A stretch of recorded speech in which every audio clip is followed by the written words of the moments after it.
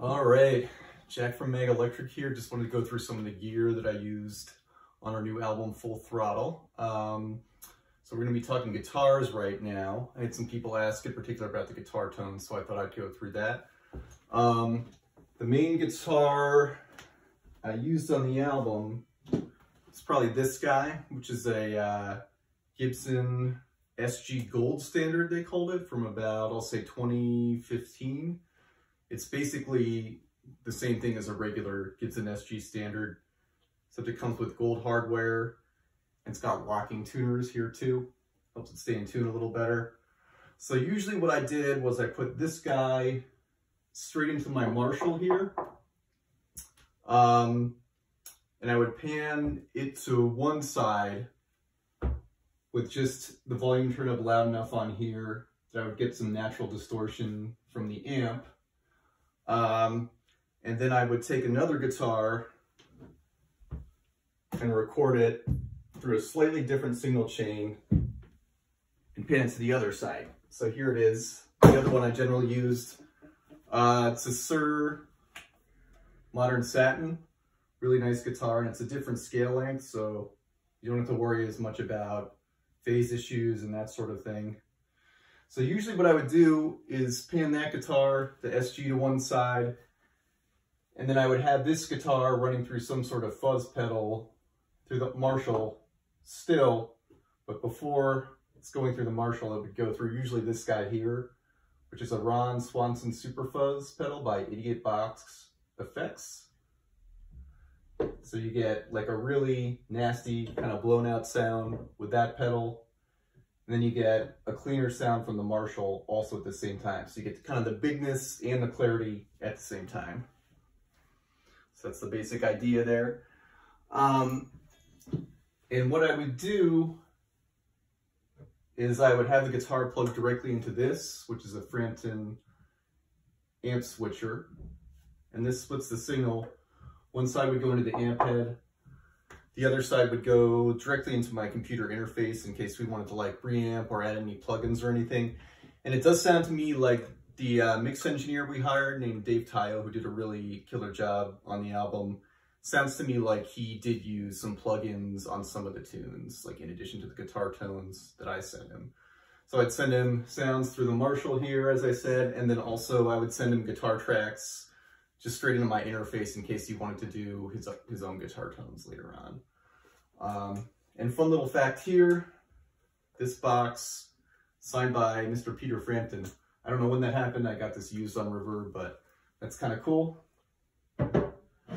Um, what I often did too was put on yet another guitar on the choruses of the songs, um, going through this guy, the Electro-Harmonix Pitchfork, and this also, again, was going into the Marshall.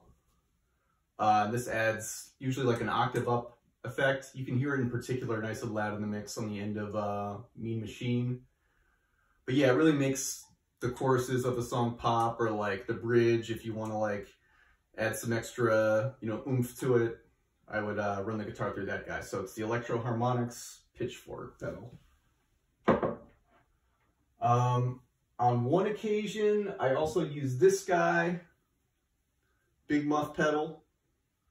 Uh, I think I used it on the verse of Mean Machine, where you get the guitar tone of one of the guitars just straight into the Marshall, pan one side, and pan to the other side as this guy. And uh, same concept as with the Ron Swanson Super Fuzz. You get the kind of clarity, like AC/DC style crunch of the Marshall, and then you get the big, like nasty blown out sound of going through that guy. And so we're saying, um, I live in an apartment here in Brooklyn and I share walls with my landlord. She's a wonderful lady. So what I do is I run the Marshall amp head into the Suhr reactive load. So I'm really recording it direct, not with a speaker cab, because this would be insanely loud with a speaker cab. And uh, I'd probably get kicked out of my apartment. So this allows me to record direct, you know, potentially even silently with headphones or something like that. Oh yeah, and one more thing. Um, towards the end of the recording of the album, I got this here, which is a Rickenbacker 12 string. I forget which model it is. It's like a 33012 or 34012, something like that. Um, but you can hear this in particular on To the Boneyard. Um, when the bass guitar is playing a melody, you can like really hear this guy nice and loud. But this really helps like choruses of songs pop or like um, a bridge of a song really pop because it's got a ton of high end and it's got the doubled strings so you get that cool chorusy effect. Um, ended up being really, really useful. I love this guitar, really nice instrument. And beyond that, um, the strings I use are these Elixir 9 gauge strings, 9 through 42. Uh, they're really great because they're coated and I burn through strings really quickly. If I don't use those, and as far as picks, I, let's see, I got some here. I generally use these Dunlop mediums.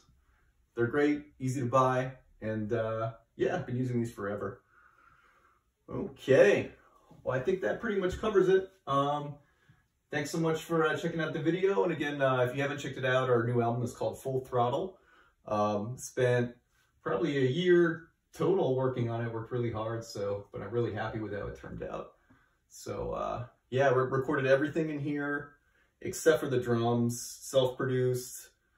Um, we did Scott's bass in here too. So yeah, guitar, bass, vocals, some keyboards, and uh, I got a little Pro Tools set up in here that uh, we used used to record everything except the drums. Uh, once again, it was mixed by Dave Tayo, who's based in upstate New York, not too, too far from here. Um, he did a really killer job mixing it, you know, giving the drums some more punch and really happy with that. All right. Thanks so much, guys.